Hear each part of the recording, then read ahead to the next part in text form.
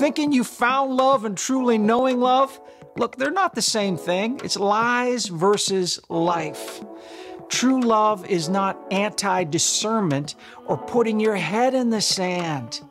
You can't substitute a designer version of love for the reality of love. That's just living a lie. People who fall for that often end up hurting other people just to get payback for their hurts. You don't want to live like that because that's not life. We've already learned that Jesus is the truth and He is the light. Now, God's Word is going to show us this in part three of life that He is love. So let's just review for a second here. Let me bring you up to date. In the first two parts of this series called Life, we zeroed in on the identity of truth and the identity of light, essential to life. In the first parts, we heard the true story of a precious young woman living on the streets, working for a drug habit. A few older Christian ladies prayed with her, and she was miraculously delivered from addictions. But then, in her sober state, realized how destroyed and wrecked her life was. She was free from the addiction, but she needed to be filled with life. When she received Jesus, she received truth, light, and what we're about to focus in on in this segment love. That young woman wasn't truly ready for life until she was filled with love. So let's explore this facet of life, part three, and talk about the identity of love because love ain't a thing. No, no. True love is a person. I've seen, you know, we all seen these posters that come up about love. And I saw this poster one time that said, Love is telling someone that his zipper is open or her, her wig looks too fake. I don't know about you, but I, I kind of have higher expectations for love. So I've got good news for you today. Good news! 1 John 4, verse 8, listen to this God is love.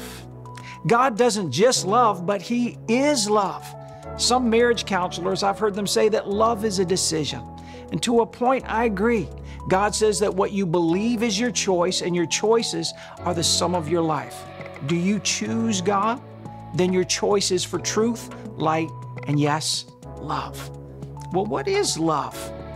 I once read that love is when a husband protects his wife from the desire to get bangs, which might be true. I remember one time when Pam and I were courting, when we were dating, she was watching these Audrey Hepburn movies, and I, I showed up to pick her up, and she walked out and she had these little pixie bangs that she had cut herself, and, and I didn't know that, and I was like, oh dear. I said, Pam, what, what happened to your hair? She was like, oh, you, you, you don't like it? It was kind of a funny exchange. But yes, husbands, you have to protect your wives from bangs. That could be love. What is love? You know, the, the Bible, the first mention of love in the Bible is when Abraham expresses his love for his son Isaac. That's Genesis 22, verse 2.